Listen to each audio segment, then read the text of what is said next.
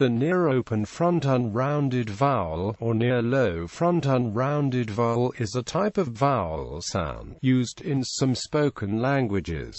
Acoustically it is simply an open or low front unrounded vowel. The symbol in the International Phonetic Alphabet that represents this sound is a, a lowercase of the A ligature. Both the symbol and the sound are commonly referred to as ash. The rounded counterpart of the near-open front rounded vowel has been reported to occur allophonically in Danish. See open front rounded vowel for more information. The IPA prefers the terms close and open for vowels, and the name of this article follows this preference.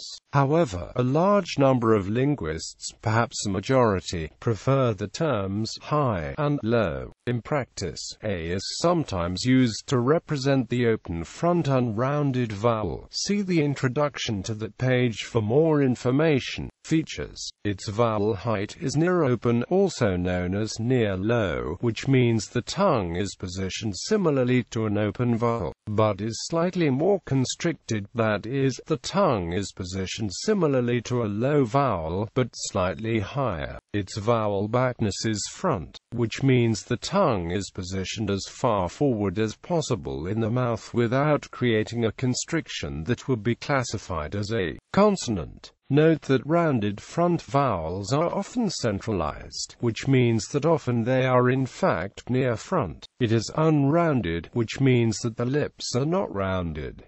Dot. Occurrence. Bibliography